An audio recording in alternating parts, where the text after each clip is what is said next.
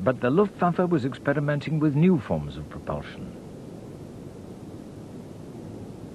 The Messerschmitt 163 had revolutionary features. Rocket power, swept-back wings, and no tail. A new shape designed purely for speed.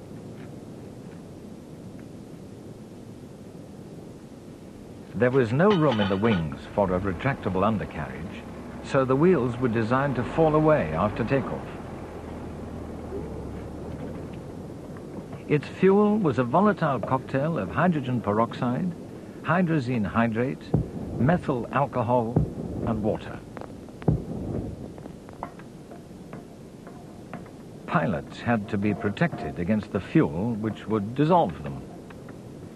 The aircraft was tricky to handle, and new pilots had yet another problem. There were no two-seat training versions, so their first flight had to be made alone. The rocket plane was so secret that seeing it for the first time came as quite a shock to its pilots.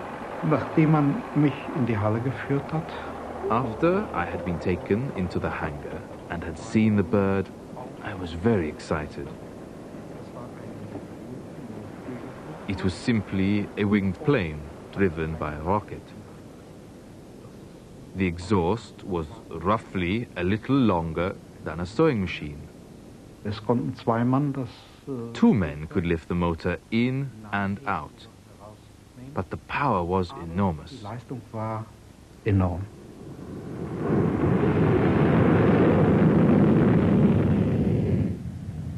Sie leistet The thrust of the rocket motor was approximately 1700 kilos. That was around 6,000 horsepower, power not available to fighter aircraft up until that time. Test pilots like Hanna Reitsch learned to love the plane.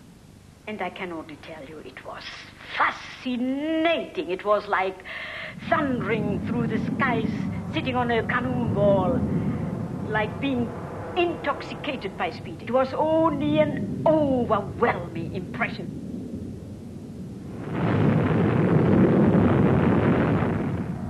At the end the boundary, you already reached about 500 miles per hour, and with constant speed, you were climbing up in one and a half to two minutes into a height of 30,000 feet.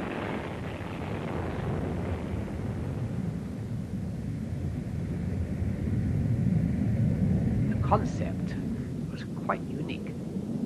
163 was an electrifying aircraft because it had this startling rate of climb. Normal fighters had a rate of climb of about 3,000 feet a minute. The 163 was climbing at 14,000 feet a minute initially. But of course, on the other side of the balance was the fact that it had very limited endurance. And indeed, if the throttle was held at full power on the rocket, it only had three minutes. In the closing stages of the war, the Messerschmitt 163 was used to intercept Allied bombers.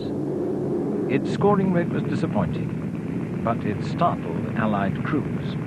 Two of them hit us. Actually, they appeared like a, a bat with the, the white exhaust coming out. And all of a sudden, they turned and they came down vertically. And I realized that that was something different. And for, for a moment, I was wondering, is this the, the secret weapon that Hitler's always saying he's going to hit us with? They just amazed us because they could outmaneuver and outrun any airplane that we had at the time.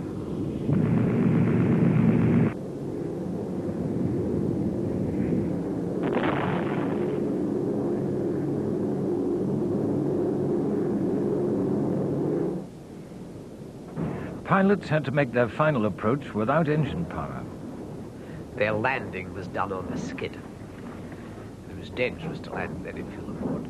And they had a lot of accidents. In fact, 80% of their losses were on takeoff or landing.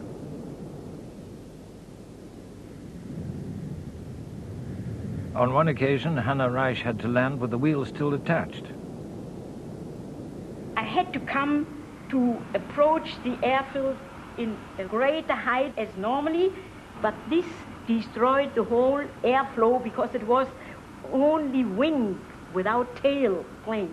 It came out of control and crashed in the field. It was completely demolished, and my head uh, came to an instrument and I suffered, uh, my nose was, I have an artificial nose and it's quadruple of fractured head and, and vertebra broken and many things. So after having been five months hospitalized, I was well again, spurred on by the only burning wish to continue as test pilot again. Test flying was often just as hazardous with another new propulsion system, the jet engine.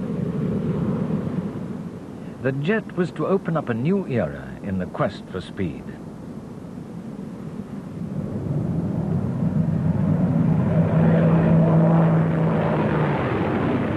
Germany was the first country to have jet-powered aircraft flying, but the creator of the jet engine was a young Royal Air Force officer, Frank Whittle. He patented the engine in 1930, but the British Air Ministry was slow to see the possibilities. He was kept starved of resources and progress was painfully slow. His counterpart in Germany freely acknowledges Whittle's lead. If the Air Ministry would not have denied support to Sir Frank, he could have brought to work a jet engine at least four years earlier. That would have been a deterrent for Hitler to go into Poland and risk a war with England and France. Hans von Ohain worked for Heinkel. By 1941, they were building a prototype fighter, the 280. Messerschmitt was building another.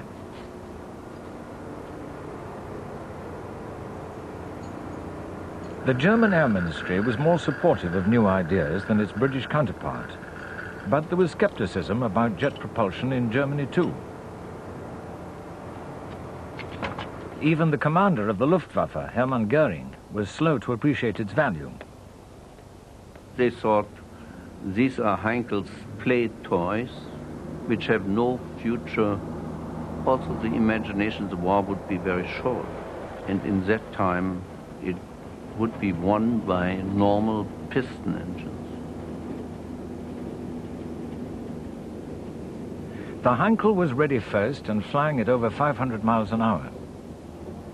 But it was the rival Messerschmitt, the 262, with its longer endurance, which went into mass production as a fighter.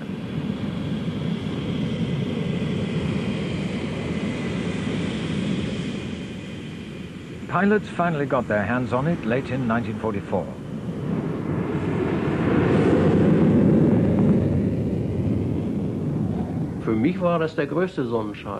For me, it was all sunshine. I felt like an emperor. When I was in a 109 together with 10 mosquitoes, then I had no chance. But with the 262, I was laughing. I took off, left the mosquitoes and the Mustangs standing. Naturally, the disadvantages showed up on operations. It was difficult for us to find a good position from which to shoot at the opponent, because the difference in speed could not be reduced. And so it often happened that we flew right past the opponents without having a chance to shoot at them, simply because we were too fast. Without any question, the ME 262 was the most formidable aircraft of World War II. Really, it looked rather like a shark. It looked ferocious and yet exciting. Once it was airborne, it was a class of its own.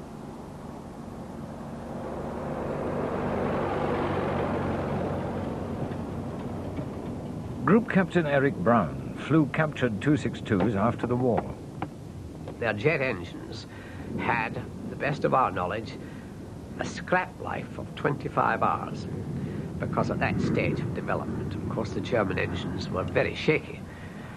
And of course, without documentation, there was always that slightly nervous feeling that you were perhaps flying a jet engine with 24 hours and 50 minutes on it. But the Germans, having lost command of the skies, took a more realistic view. Why should the engine live forever when the pilot would be killed with the airplane in combat much sooner? At over 600 miles an hour, Messerschmitt's rocket-powered 163 and jet-powered 262 were the fastest aircraft of the war.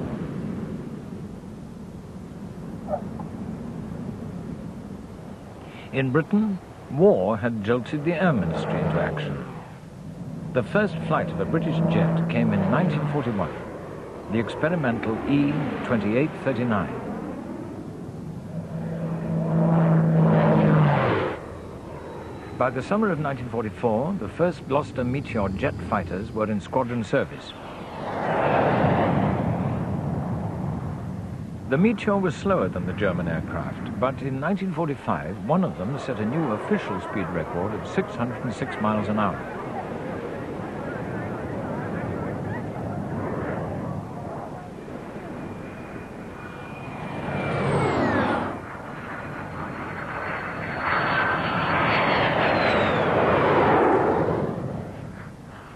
Whittle's engine was more powerful and more reliable than those in Germany, and there was great hope in the country for its future. To the birthplace of the jet are coming students from all the world to take their first peep at this child of Britain's brains. Today, man, power, and money on a national scale are flowing into its development. For in this latest wonder of applied science, Britain sees a source of her future wealth and welfare.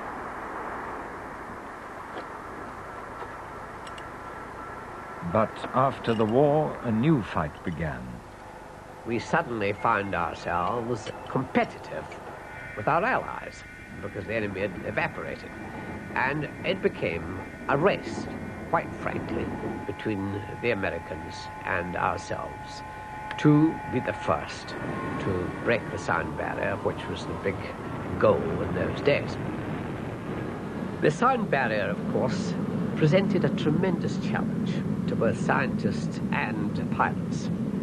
To scientists, it was something like uh, akin to splitting the atom. To pilots, it was rather like climbing Mount Everest because the goal was tremendously prestigious. Frank Whittle had started on an engine to power a supersonic aircraft during the war.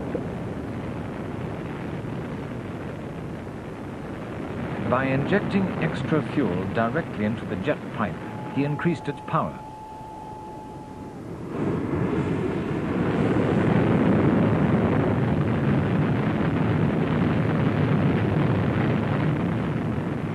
It was developed in great secrecy for the experimental Miles M52. But once again, Whittle's hopes were dashed. Everything was going well. The aeroplane was almost complete. The power plant was virtually complete.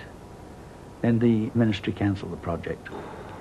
And the reason they gave was that it was too dangerous to risk a pilot in a supersonic aeroplane. It burns me up to think uh, of the way we gave away the lead in supersonic flight. I'm confident that had the M52 reached completion, we would have been the first to fly supersonically. The British government now put its faith in a new high-speed research aircraft from the de Havilland Company, the DH-108, the Swallow. Its tailless, swept-wing design owed a lot to captured German aircraft. Its purpose was to explore flying at close to the speed of sound, where pilots fought for control against buffeting and turbulence. On a test flight over the Thames estuary, the DH-108 broke up in midair, killing Geoffrey de Havilland's eldest son.